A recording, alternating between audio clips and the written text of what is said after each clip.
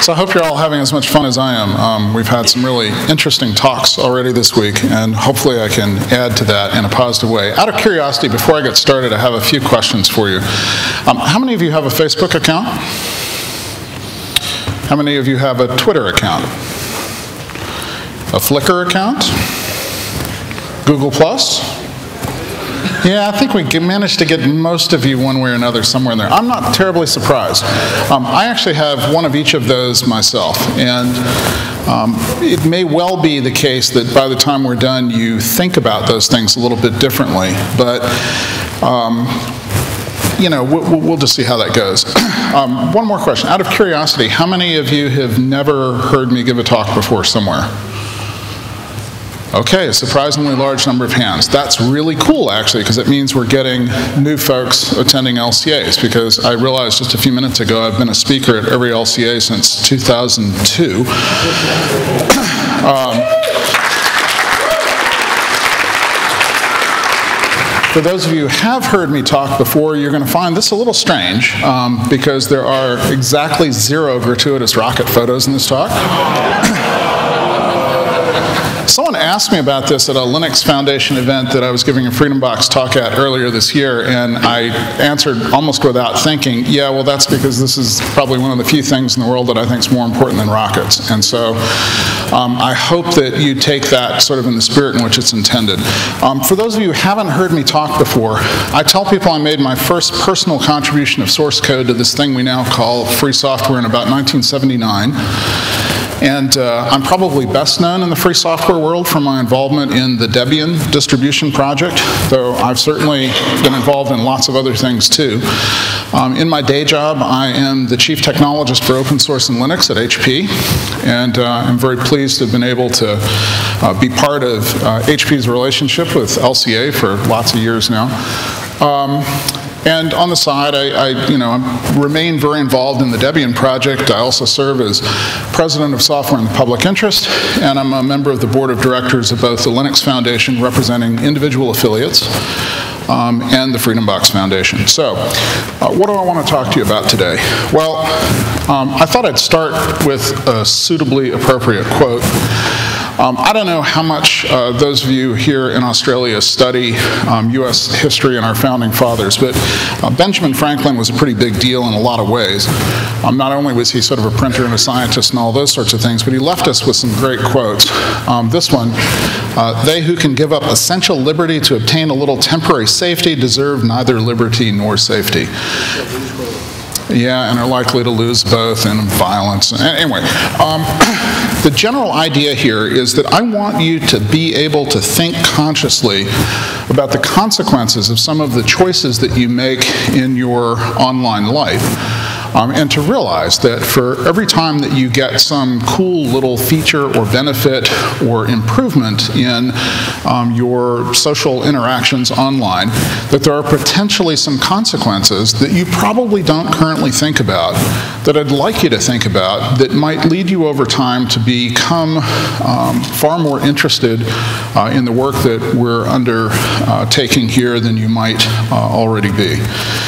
So what's the problem? Well, uh, we've ended up in a world where more and more we are willing um, to put all sorts of personal data in the hands of companies who are running commercial cloud services um, to manage on our behalf. And, and, and you know, the reason we do that is that we get neat benefits as a consequence of that.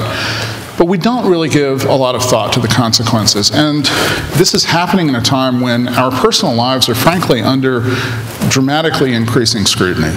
So what's the real issue here? Well, every time that you upload a photo to Facebook, are you aware of the fact that they've now publicly admitted that they're part of the photo DNA system?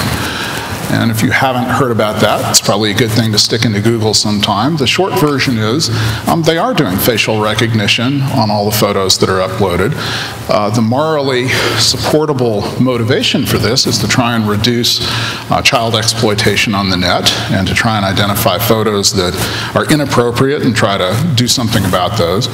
Um, but this can become a problem when you realize that for-profit companies, no matter how noble the intentions are that they state in their terms of service have to operate within the rules and the, the legal environment of the jurisdictions in which they operate.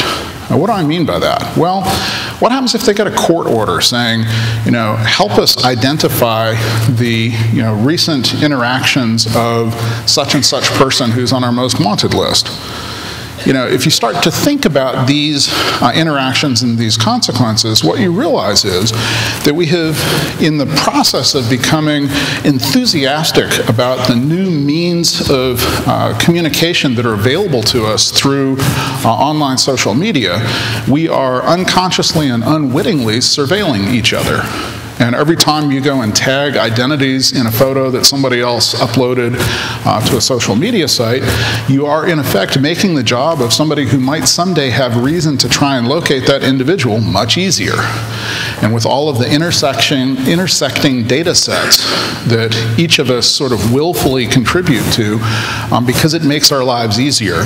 You know, our credit card information being stored on websites makes buying stuff from that site in the future easier, but you know, it also means that there's a much uh, richer set of data that can be mined to understand our preferences and our whereabouts. I'm not going to spend a whole lot of time on sort of all the things here that, that could go on, but I want you to realize that we are all of ourselves, uh, every one of you who raised your arm uh, as being uh, involved in, you know, participating in, being a subscriber to, or a user of any of those online services are consciously or unconsciously making a decision that the benefit that you get from that service outweighs the potential negative consequences of this additional information about you and everyone else you ever interact with um, that becomes uh, part of uh, the online record uh, as a consequence.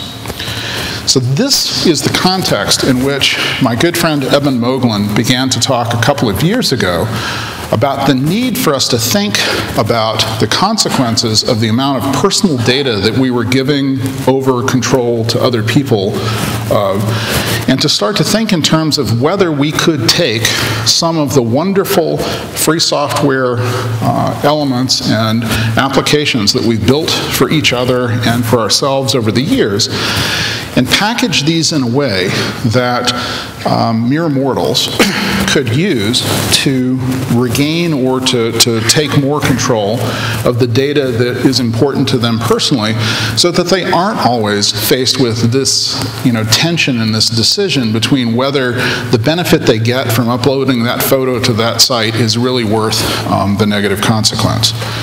So the vision that he articulated and I agreed to sign up and try and help turn into a reality is this notion that we could build personal servers running free software operating systems and applications specifically designed to create and preserve personal privacy.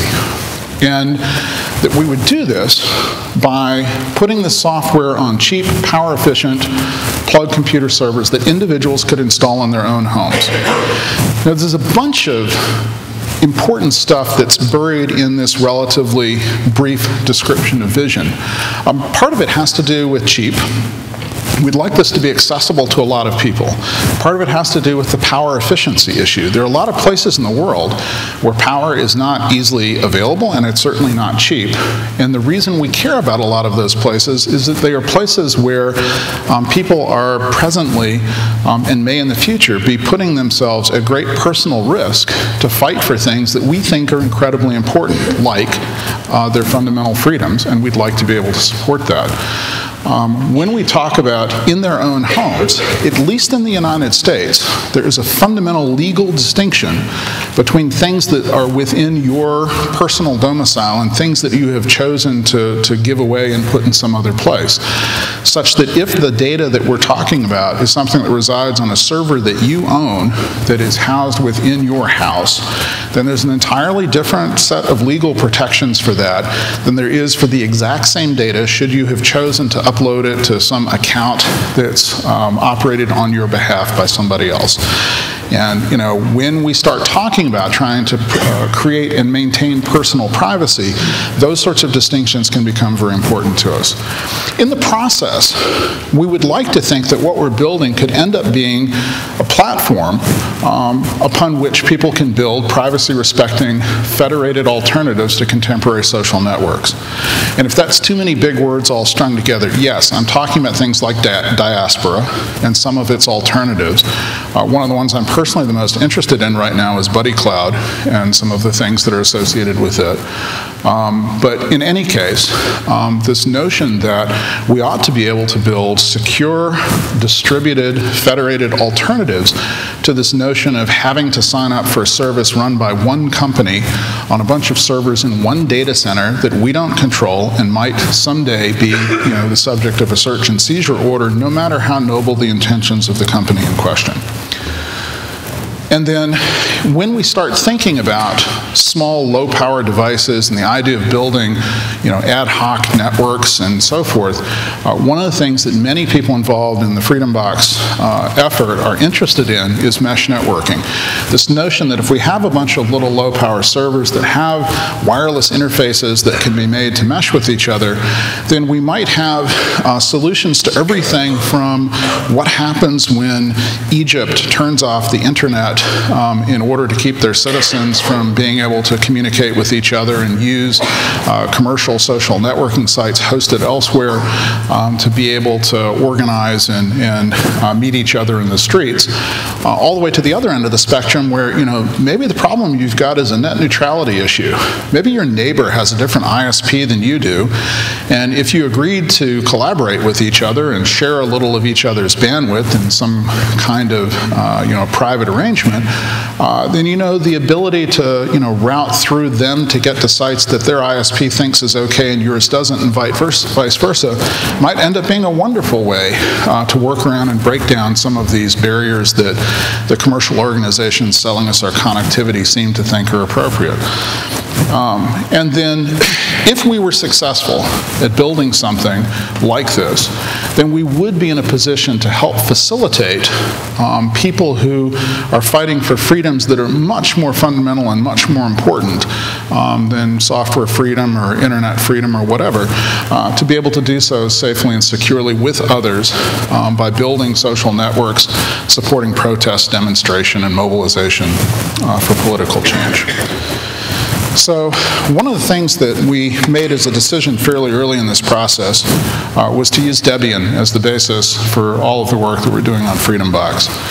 I suspect that here in this audience, I don't need to spend a whole lot of time explaining why Debian would be a good choice of a base platform to build something like FreedomBox on top of. But you know, what it really comes down to on, on a simple level is that this is an organization that's quite international and has the same focus on freedom in everything uh, that's done uh, that the Freedom Box Foundation's principles believe is an important uh, sort of thing to base things on. And um, Debian supports all of the relevant hardware architectures that we're interested in at the moment already. And it is sort of a truism that because of the inclusive nature of the Debian project and the willingness to have sort of any software anybody's willing to support on behalf of the project become part of the main archive instead of having sort of separate ghettos for different um, contributed pa packages uh, that all free software does eventually seem to get packaged for Debian. And so if you want to build um, things like Freedom Boxes, it's a great place to go use as your base of technology. But then I sort of turn this around in the other direction too, because the more we thought about it early this year after uh, forming the foundation, the more we realized that the world doesn't really need another distribution. It doesn't need a fork of an existing distribution. It certainly doesn't need another you know, mirror site somewhere that people have to decide to differentially trust above and beyond something else. And so what we're trying very hard to do is to make sure that all of the software that we use, if it isn't already part of the Debian distribution, gets packaged and incorporated into the distribution. So in the future, Debian stable releases could just have everything needed to be Freedom Boxes out of the box. And what this means is that as much as possible, we're building the Freedom Box using software that's already packaged for Debian. Anything that isn't, we will package and put into Debian. And the consequence of this that I think is really important is that regardless of how successful we are with our specific set of objectives, all of the work that we're doing will survive and be available and will to help and will help enhance the ability um, to do uh, privacy enabling and enhancing things with uh, Debian no matter where it is. Okay, so that's kind of what we're trying to do in some context around it. When uh, Eben uh, gave a keynote to open FOSDEM just shy of a year ago, one of the things he did was to announce the formation of a nonprofit U.S. corporation um, to try and pursue this vision and to turn it into some kind of, you know, reality which would uh, improve the lives of all of humanity that engages in connected communication. And that organization is called the Freedom Box Foundation. And as I say, it was founded by Eben Moglen. It has a three member board of directors. I agreed very early to be a member of the board and to try and help uh, put forward this vision and turn it into some kind of reality. The third member is Yochai Benkler, who is, uh, that name may or may not be familiar to many of you. He's a social scientist at, at Harvard University who's written all sorts of interesting things about uh, the consequences of uh, uh, the technology that we're bringing to bear and its changes on culture and society. So it's a, a good mix. We've got a legal expert, a technologist, and a social scientist. And uh, so far we managed to interact with each other just fine. Um, we, well, you know, it's, it's a heck of a bandwidth there, but um, you know, the two of them are, are, on the East Coast and I'm not, and well, you know, whatever.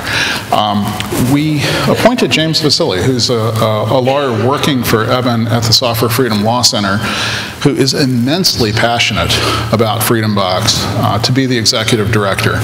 And of course, he has the really tough job. He has to take stuff that's immensely boring and turn it into things that people get enthusiastic about. Um, and then one of the things I agreed to do uh, at Eben's request when I joined the board was to form a technical advisory committee and to chair that committee. I'll talk about its membership in just a moment. And then uh, more recently, we've spun up a set of working groups um, that are trying to tackle various uh, subject areas that we need to get additional thinking and clarity around as we move forward in trying to build a technology stack uh, to address the needs of, of uh, the Freedom Box uh, Foundation. So the work of the foundation, you know, I think the original vision that Eben had was that we'd put together, a, you know, what amounted to sort of a business plan or, or at least a, a, roadmap and a sense of um, what could happen if we did the right things around this Freedom Box concept, and that we would go find an angel investor or two, and we'd hire some people, and the technical advisory board would serve uh, as sort of an oversight organization to help the people who would be doing the work um, make the right decisions and so forth. That's really not how it's turned out. It has turned uh, much more into a you know, free software kind of project, except that um, only sort of one piece of what the foundation needs to do is really amenable to free software project kinds of thinking and methodology, and that's the technology part. And so the development of the actual software stack for Freedom Box is now very much a community-driven free software kind of project. The other things that need to be done by the foundation if we want to take software that you and I, and essentially probably everybody here, could figure out how to install and configure and make work on some piece of hardware that Debian can run on, and turn that into something that my mother could go buy at retail, plug in, and have some kind of assurance of you know, functional enhancement of her privacy with, then we have to work on user experience. And this is one of the places where, uh, unfortunately, we've had sort of the least progress to report so far. And the reason for that is the intersection of people who are competent user interface and user experience designers and people who are willing to work for free is pretty small. And if any of you know of people who would enthusiastically like to dive in and help us work on user experience around what I'm going to be describing through the rest of this talk, please get in touch with me. Another pillar is publicity and fundraising. You know, this is all about making sure that people know what we're doing and are able to participate in the process in ways that um, they would like to be able to. And then industry relations is the euphemism for dealing with hardware vendors. And the reason this is so important is that every producer of ARM-based system on chips on the planet is, has on their roadmap something that might be interesting um, for you know, future Freedom Boxes. The problem is most of them don't want to talk about anything that isn't released yet without going under non-disclosure agreements. And it's just not fair to take random free software developers and expect them to be willing to sign their lives away like that in order to know what's going on.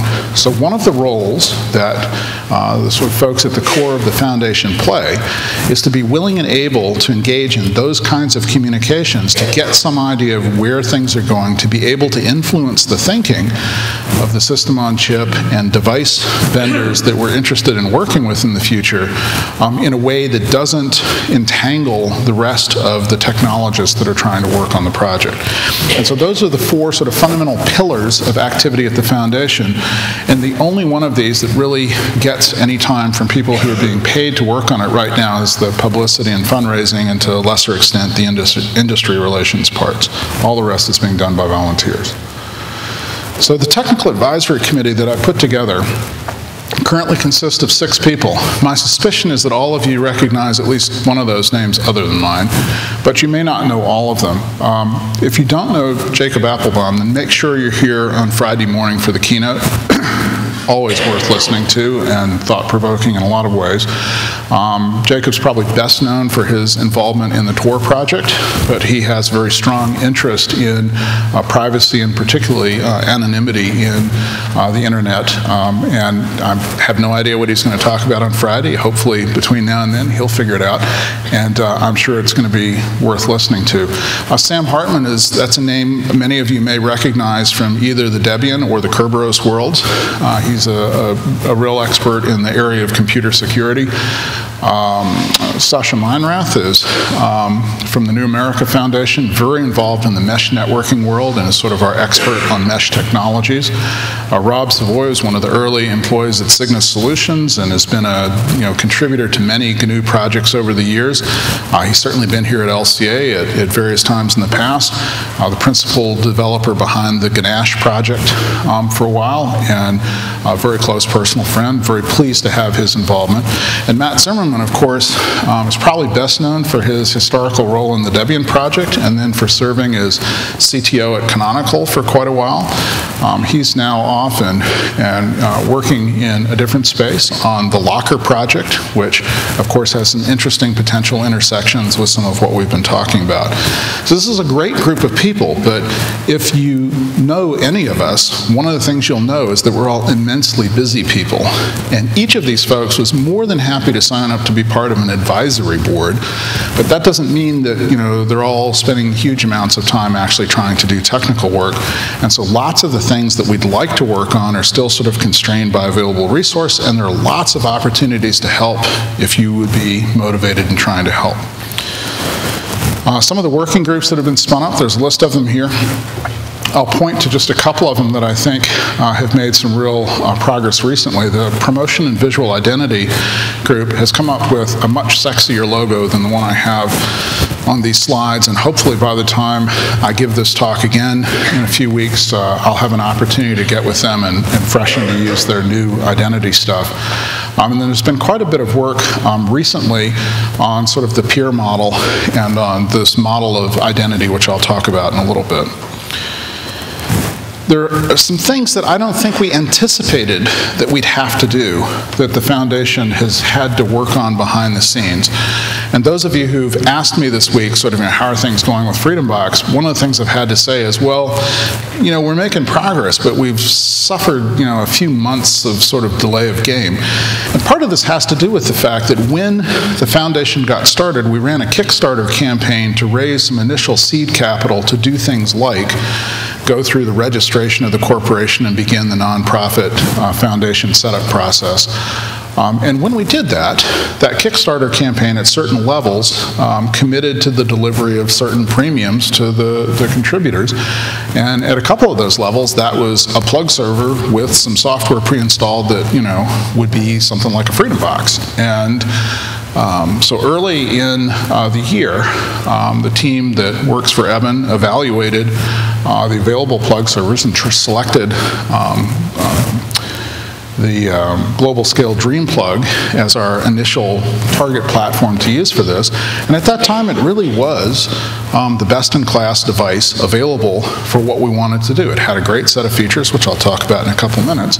Uh, unfortunately, it had a few GPL violations buried in it. And as you might imagine, working on a project where Eben Moglen is one of the principals and the guiding light, um, one does not ship anything that has a GPL violation. In fact, uh, one sort of drops everything else and works on resolving the GPL violation before you do anything else. Uh, we have pleasantly been able to get the attention of and the response from both Marvell and Global Scale to the issues that drove us nuts initially. Uh, they did release the source code to the user space utilities required for interacting with the wireless chipset that's um, part of this device. The modifications Global Scale had made to the bootloader were eventually released and have now been fully merged and are part of U-Boot upstream. You can now build a DreamPlug U-Boot uh, instance from the uh, U-Boot package that's in Debian. That's just an amazing transition. And um, the kernel patch set that we finally extracted from them uh, turned out to have uh, less stuff uh, remaining as deltas that needed to be merged upstream than we had feared, but it was still a non-zero set. And the only real remaining frustration, and this is something that won't go away on this device, unfortunately, is that the micro AP, which is this, you know, super whizzy uh, wireless device, very similar but a different model to the one that was in the original OLPC machines, um, has a big binary firmware blob that you pretty much have to use to do fun things. Um, it's possible to use a, a, a free software driver uh, in the kernel if all you want to do is be a wireless client. But if you want to serve as an access point, you need both a um, a, a, kernel tainting driver and a binary firmware blob that's non-trivial. Um, I wish there were some way for us to get around that. If we were going to stick on this particular hardware design forever, we would probably work harder at reverse engineering and trying to hack around that. But quite honestly, I hope that this isn't the platform that we spend the rest of our lives dealing with, and as a consequence, there's a knee in the curve somewhere, and I think we've reached it where uh, sort of everything that we can get to be free is free, and you know, we're going to deal with that binary blob for a while, which I just find really frustrating. So let me talk a little bit about this hardware that we chose. Um, the initial hardware target, as I said, is the Dream Plug from Global Scale Technologies. And just to give you a sense of what that's like, uh, this is one. Um, it's a cute little server. They call them plug servers because you can pop this. Um,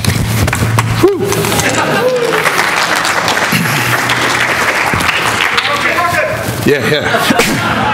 That was kind of a launch, wasn't it? Um, this is the little adapter that lets you put a power cord in if, like me, you kind of like to not have it hanging right on the outlet. But you can slide in little adapters that'll plug into all the different kinds of uh, physical power plugs around the world.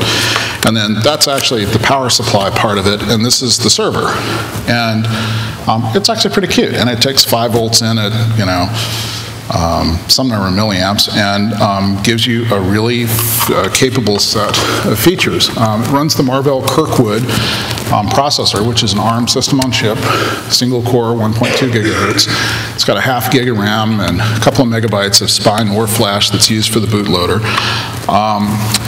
They come with a, an internal micro SD card slot that, intriguingly enough, is a USB peripheral. Um, and so uh, with the two gigabyte card that comes with them by default, you can do a very credible job of putting the root file system in the basic software stack internally.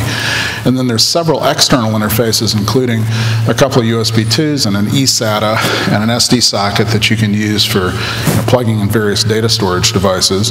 It has two gigabit Ethernets. Um, having two wired network interfaces is, of course, important if you want to inject this as sort of a router or filter or some kind of a firewalling element into a network somewhere. Um, the fact that they're gigabit, I'm not sure how important that really is. Um, because frankly, there's this tension where if you load the gigabit driver, the power consumption is just amazingly higher than if you load the 100 megabit driver that also works with the hardware. Um, so I, there's all sorts of discussion you could have about exactly how you expect these to be deployed topologically that would lead you to understand what the right trade-offs are. There's a Bluetooth interface, there's an audio interface. Um, and then this uh, 802.11bg interface using the Marvell micro access point. For those of you who couldn't see it very well up here, uh, that's what one looks like with the cute little artist rendition of what a sexy sticker might look like on it. Um, right. There are other interesting hardware targets, though, and part of the reason, as I mentioned earlier, we thought it was so important to try and use Debian and stay close to it is that it means that, you know, in some level, anything that can run Debian can be a Freedom Box. And I think that's immensely important and powerful because it turns out that there are parts of the world where no matter how cheap you make some specific piece of hardware, um, people are going to want to source things locally, maybe cast off PCs or whatever, and put those to use. And you know, you'd like for all of the good work that you do on building applications and protocols um, to be applicable regardless of what people have access to.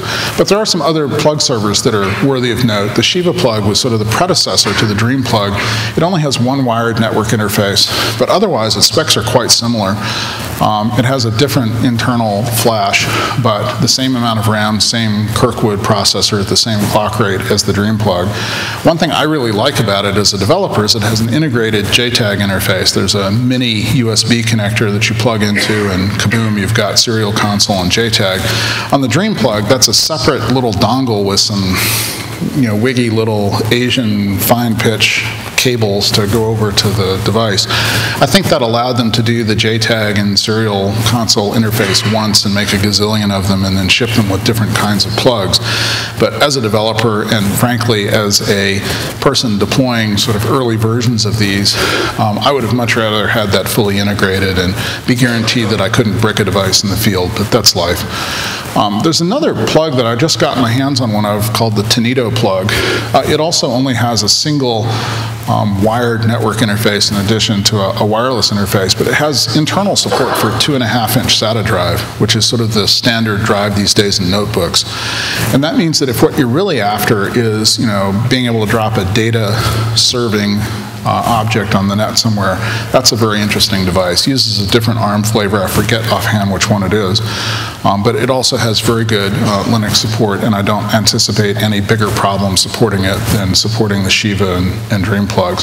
There are also a bunch of set-top ARM boxes out there now. They're developer boards. Things like the Beagle and Panda boards actually have a pretty reasonable hardware complement for, um, for the kind of applications we'd like to put them to. Um, and there are a number of people who are now interested in the possibility of doing some specifically targeted hardware that would you know, have 100% uh, free software all the way up and down, including things like the wireless firmware. Um, and you know, I would love to see that come to fruition, but uh, right now, today, we're sort of you know in this mode of using what we have available. Okay, so we have this foundation in place. The foundation, among other things, picked this initial unit of hardware us to target. What's actually happened? Sort of what what have we done with code? Well, um, we had this wonderful time in Banja Luka last Northern Hemisphere summer. The Debian Developers Conference was hosted in Bosnia this year. Um, and enough people who were passionate about FreedomBox managed to come together in one place that we actually got a lot of stuff done. First of all, um, DebConf 11 had a lot of talks that have content that's relevant to FreedomBox. Um, DKG gave some interesting talks on you know crypto. There, there, are just a number of talks. If you haven't gone and looked and you have time, uh, go find the DebConf 11 video site and peruse the list of presentations, and you may find some really interesting talks, whether you're a Debian head or not. Um, the second thing is that at the time of that uh, conference in Banja Luka, we had just relieved, received the source code to the user space utilities for this Marvell micro access point wireless chip. Part of the problem with this chip, by the way, is if you want to use it as an access point, you need to use their binary driver and its associated um, big firmware blob. And part of the challenge with that is it doesn't use the normal kernel wireless services. And so in order to be able to do things like set the SSID on the access point and to tweak other uh, configuration parameters and to monitor uh, activity that's out there, you need these separate user space utilities utilities. And they had been made available um, as binary only um, applications on all of the previous uh, loads for any of Global Scale's plug servers that had ever been shipped. And I'm really pleased that Eben and his team were able to convince Global Scale to not only give us the source code to those, or excuse me, Marvell, to give us the source code to those, but they released it under GPL. And so we have those utilities now. So while they still depend on a driver that we hate, at least all the user space stuff is now available to us and can be hacked and integrated in, in other ways that are useful. Um, we, have spent a lot of time working on tools for building the reference implementation. Part of the problem here is that we, when you start building images for embedded devices, everybody sort of has a tool set. Uh, certainly our friends at Canonical have a very rich tool set for building sort of pre-configured images that can be put on all sorts of devices. There are lots of people that have tool sets, and all of them are sort of bigger, heavier, and more complicated to figure out than any of us wanted to deal with. So uh, in the end, in that week in Banja Luka, um, a surprisingly small amount of shell script was to use to, to solve the problem. And what we came out with is a tool that I sort of branded Freedom Maker, and there is a repo up on the Debian Alioth server, which unfortunately the last time I looked was down, um, that has all of the source to what we've been doing there. It is back up. Excellent. Glad to hear that. They had a weird problem with a server that just wouldn't boot, and that was just sort of strange. Um, there was also a bunch of work done on U-Boot during that week. The interesting thing is it wasn't actually being done by people at DebConf. Um, when folks in the larger world heard that we were all sort of hacking together trying to make some Freedom Box things happen, one of the upstream the folks who was more upstream than we were on U-Boot jumped in and volunteered to, to work with the source code we had just gotten access to for um, Global Scale's build of, of U-Boot for the Dream Plug, and that's all now, as I said, been integrated. It was an excellent piece work. We spent a lot of time figuring out how to do Debian packaged kernels for the Dream Plug. And part of the problem was at that time, um, this was in the middle of sort of the kernel development community's um, negative reaction to the chaos in the ARM tree uh, with all the different ARM SoCs having sort of their own little, you know, branches. And uh, as a consequence, it was a really bad time to be asking for things like a new device ID to be added to the tree. And um, nonetheless, uh, we did the analysis and realized that there was actually less delta remaining um, between the 3.0 uh, kernel sources that we were looking at at that time um, and what we needed to work on the Dream plug. And since then, almost, not quite, but almost everything we need has been folded in upstream and is now part of the Debian kernel stuff. So we are certainly at this point very close, and by the time of the next Debian stable release, we'll certainly have gotten to the point where we can have a pre-built Kirkwood image um, in Debian that works on all of the plugs that we care about. Another piece of excellent work to have accomplished. There's a lot of discussion about and work towards, uh, you know, what applications it would make sense to include in initial images. If you go out and look at the Freedom Box web uh, wiki pages that are in the sort of Debian half of the sphere, there are a lot of pages excuse me, there are a lot of applications that have been identified that people would love to be able to have on something like a Freedom Box. And at the end of the day, there's only so many that you can actually have. And so there's been a lot of winnowing of all of that and lots of things. I mentioned the video replays that are available. So since then, um, we got the Dream Plug kernel packaging stuff done. Um, kudos to, to Hector Oron, aka Zumbi, for, for doing a lot of the work on that. Um, using Freedom Maker, we've dropped a couple of developer releases. I have to be completely clear and tell you that these are sort of Debian OS images for the Dream Plug, not really Freedom Box images so far, which is why we tag them as developer releases. Um, but the most recent one of those met the needs that uh, the folks at the foundation had for being able to ship out hardware to the folks in the Kickstarter uh, campaign who were expecting it. So that was a really big deal to, to cross. Lots of ongoing discussions with industry partners. Uh, back in October, I managed to carve out two days from my schedule to spend in New York. Uh, we had a very intense set of meetings, and a couple of things that came out of that were a solidification of the plans for how we might use GPG keys as the root of identity and uh, trust relationships between devices. Um, seems like sort of an obviously good idea, but there are all sorts of interesting challenges that come as a consequence of that. We also realized that um, our initial thoughts about sort of what we had to have in the way of useful applications before we'd have an image that was worth dropping were maybe too complicated and ambitious, that um, some fairly simple SSH tricks to enable people to help their friends in weird parts of the world get tunneled connections to other parts of the world um, could be very handy. Um, and that in fact doing a Klufel Privoxy installation could allow people to gain uh, quite a bit more um, privacy in their you know, general web surfing using other clients that might be behind a device like this. Um, and I'm very pleased that in the last week, uh, James Vasile has released a, a, proposed Privoxy configuration, and those of you who are interested in and more knowledgeable about that than I am, I would love to have you take a look at what he's done and give us feedback on that. So going forward from him, uh, from here, one of the things that I think we would like to do is to figure out how to build some x86 virtual images that people can play with even if they don't have access to some plug server hardware. Uh, there has been some work done by a couple of contributors in the project. We just need to get around to folding that into Freedom Maker and we'll be all good.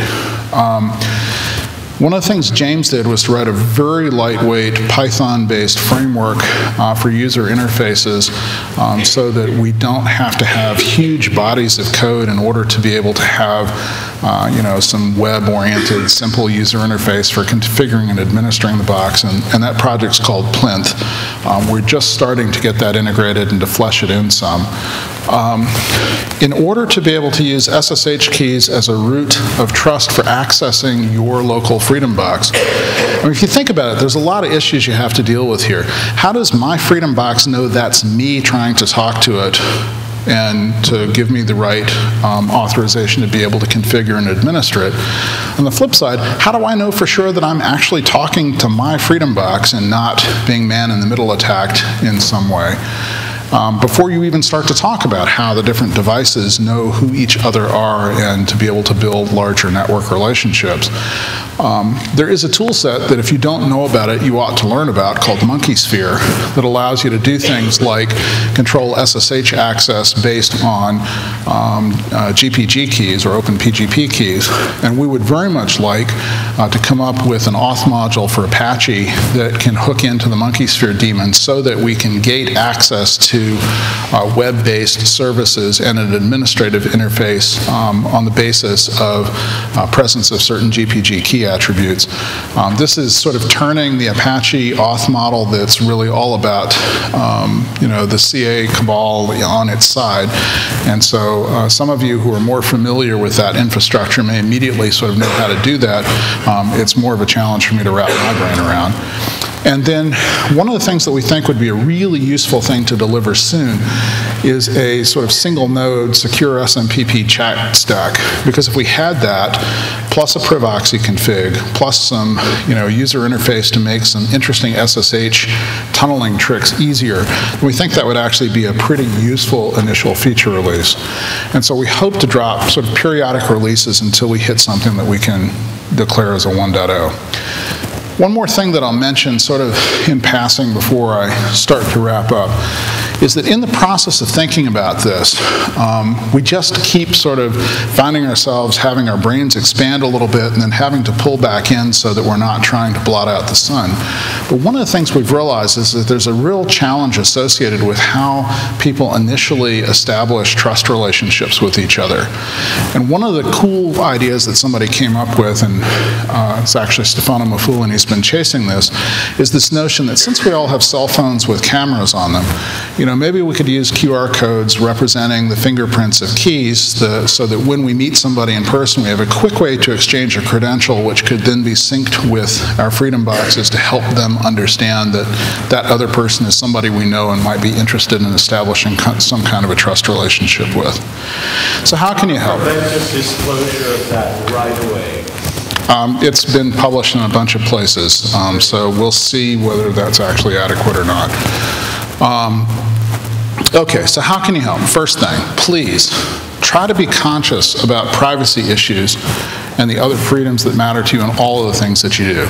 A simple thing on this is, do you have a GPG key yet? If you don't, um, establishing one, taking advantage of the peer network that you have here at LCA to get some credible signatures so that you can be hooked into the World Wide Web of Trust would be a great thing to do. Feel free to see me if you'd like to have uh, a key signing with somebody who is pretty well connected.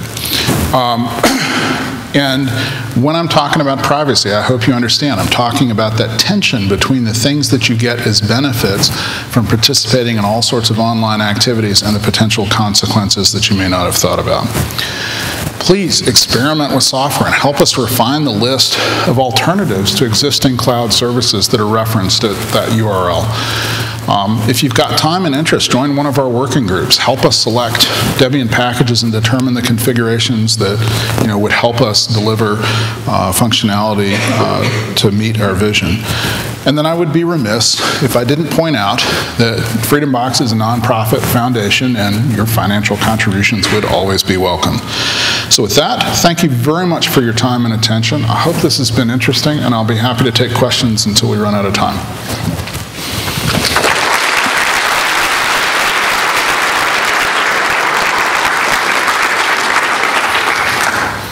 So, with potential applications for the Freedom Box, uh, is it necessary to rework a lot of the user interfaces? So, taking the uh, XMPP chat stack as an example, um, a lot of the XMPP servers come with a nice interface. Like, uh, I think Prosody has a nice one, um, and that works quite well with BuddyCloud. Um, would they want to put a, another management interface that's more integrated, or if the standard interface was up to scratch? So the interface that I'm really interested in working on the short term is the administrative interface where you might do something like have simple switches to decide is this Freedom Box going to deliver an XMPP chat service or not. Not so much that I want to change Prosody or JW Chat's interfaces if that ended up being the pair of you know, pieces of software that we use to actually deliver that, and I, you know, if I have my way, that's what it'll be. Um, you know, as I mentioned earlier, I'm very interested in BuddyCloud. I will freely admit that I just haven't had enough personal time to dive in and understand it well enough to be able to make good technical decisions around it right now. But other folks within the project have. Maybe you, maybe other folks yeah, know much more It's a little bit do, young so. at the moment, but there's a beta version that you can sort of log in and, you know, have a look around. Um, Right. So anyway, um, you know, people give me a hard time sometimes about saying I'd like to build this as much as possible with existing software, and then the things I get excited about are the things that aren't quite baked yet. But this is just the classic tension, right? And my objective would be to you know, get to the point where we're delivering a usable feature set that helps to actually improve you know, the average person's uh, ability to create and maintain personal privacy soon, and then expand out from there to you know more interesting services. I think all of you understand though that there is a fundamental tension here the more you want to communicate and the more you want to interact with other people, sort of the larger that bubble gets, the harder it is to maintain, you know, privacy, much less anonymity. Um, different people have different opinions about how hard or how easy different parts of that problem space are to resolve. But, uh, you know, the key is it's hard and there's a lot of work, and if we want to make this something that average people can use without, you know, putting themselves at immense risk, we need to be fairly careful to make sure that we don't end up with user interfaces that, you know, drive people nuts and lead them astray. I think it's not just your privacy, but your friend's privacy at stake as well. Yeah, absolutely. Absolutely. I think we're all going to realize eventually that we have a social responsibility to everybody in our social networks, and we'll see. Other questions? Julian? Yeah. I'll leave the um, software questions aside because I'm biased there, obviously. But my day job, I manage one of the largest global networks. And I see the scale of the internet as it is today, and having worked previously with Melbourne Wireless and similar groups on metropolitan mesh type wireless networks, I I wonder how useful that can truly be. So I'm personally not a big mesh person, and I don't mean that I'm negative about it. I just mean that of all the possible things I could go learn about and become an expert on, that's not one I've tackled. And so the consequence of this is I can only think about this and talk about it at a certain level of abstraction. But what's absolutely clear to me is within the Freedom Box community, there is an immense tension between people who want to take advantage of as much existing infrastructure as possible, adding sort of an additional shim layer of protection in the activities that we engage in. And then at the other side, a group of people who believe that any dependencies we build on anything that we don't control is bad and a mistake, and we just shouldn't do that. And that goes all the way from what makes you think DNS is going to work tomorrow? And this is before we heard about SOPA, okay? Um, to huge, intense concern over the CA cartel, the folks who, you know, are responsible for all of the certificates that we use to decide whether that's really the website we think we're talking to or not. You know, that is a centrally controlled, you know, there's several places that do this, but what is it that makes the particular set of CA certificates that are shipped with the browser that you get on your favorite Linux distribution things you should trust? Good question. And so there's this huge tension already between taking advantage of what's there and using it as much as possible, and we ought to sort of reinvent the world from sand and go from there.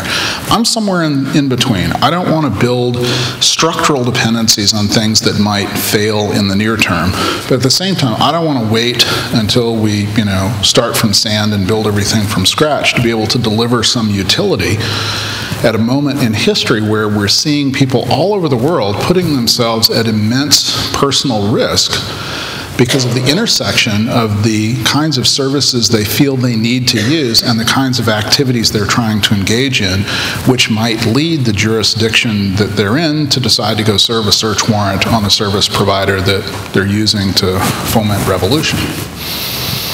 So, is that a good answer? No. Um, at the end of the day, I think mesh is an example of a technology we'd like to be able to enable. We'd like to be able to use it to augment existing connections.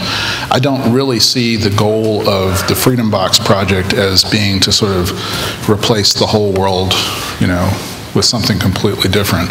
There are certainly people out there who are much more interested in, you know, focusing on the mesh piece and driving that to conclusion than we are. Over time, I hope we have, you know, the opportunity to collaborate with all of those other projects so that the net result is, you know, good for everybody. Do we have time for more or are we out? Okay, we have time for one very last quick question. Has anyone got a quick one? All the way at the back. Yep, there's always one in the back. Good man! And of course, before she, before she even gets the mic to you, I'll make it clear that I'm going to be here, you know, until the end of the conference. So please feel free to grab me in the hall or outside. Don't be afraid to approach me if there's a question you've got or you'd like to talk about something, or particularly if you'd like to volunteer to work on something. That would be just awesome. Okay, you got the mic? Hi. Um, sorry, more of a comment than a question. That's quite fine. Um, you're saying one of the reasons is that with the best will in the world, uh, a company can be essentially ordered by their government to um, that data, which is certainly a threat and a very big one in some parts of the world. I think sometimes people focus on that threat more than they should because there's certainly other more mundane ones. One is obviously that the company is more evil than you thought. One is that the next owners are more evil than you thought. But the other one is that an individual employee or somebody who has physical access to the premises um, undermines them despite whatever policies are in place to try to stop that. And another one is that an individual authority figure, a, a policeman or something, claims to have ordered to release data, whether or not they actually have the legal authority to do that. And those are all other threats that are, are real and, and, and in many cases more real than, than sort of government direct government Yes, intervention. absolutely. You- You're absolutely right. And, you know, the problem in any finite length presentation is you sort of have to pick and choose what to talk about and what to point to. Um, To me, the good thing is that almost all of those concerns are things that you would choose to address with a relatively similar sort of set of technical responses and, and policy responses. And so to me, what this is really all about is trying to help ensure that the technology that many of us have worked on and have figured out how to use for ourselves to ensure some modicum of privacy and, and you know, uh, for some people, anonymity is more important. Uh, you know, wh- whatever. The things that we have all collaborated on putting together are accessible to a broader set of people than just the folks who initially developed them. Uh, you know, it, it unfortunately is sort of a tautology that, you know, the user interfaces to lots of this stuff are really harsh. And uh, there's no reason that it needs to be that way, but on the other hand, I don't really sort of want you to think about the Freedom Box project as just being about, you know, putting glitzy user interfaces on things. Um, but frankly, at the end of the day, you know, a big part of this really is about how do we make technologies like uh, having all of your internet traffic be encrypted and, as appropriate, anonymized uh, on a regular basis without the kind of frustration, challenge, and pain that, you know, some of us have had to go through to make those things work for ourselves. So that's kind of what it's all about. Um, hopefully, as we go forward, there will be lots more progress. I would love to be able to come back a year from now or something, and you know, if not, hand out to all of you a cool little box that will help improve your privacy. At least be in a position to tell you where to go buy one. And um, of course, you know, one of the challenges here, and part of the reason we're having so much interaction with hardware vendors, both at the silicon and device level, is that if you really want to change the world, you've got to get to the point where this is something somebody can go buy at retail. And that just leads to an entirely different set of requirements and expectations beyond anything we've already talked about here today. But okay, um, you know, this is one of those things where, depending on how you think about it, you can either end up deciding that the only solution is to slit your throat, or, as I have, you can buckle down and say, okay, this is a problem. This is the kind of thing that we can factor and figure out how to tackle and do something good for, for the world with. And I hope you'll join me in helping to do that. Thank you very much.